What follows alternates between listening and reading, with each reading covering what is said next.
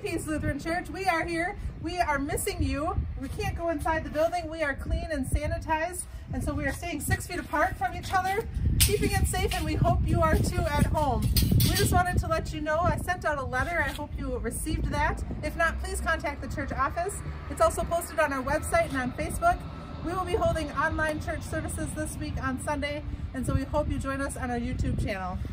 Sunday school friends will miss seeing you in person, um, but we will have resources, opportunities, games, things for you to do um, connecting online. Check out our Facebook page, Peace Lutheran Church Dresser, Children and Families. Um, there'll be resources posted there. Parents, we will also email out um, links to activities and resources.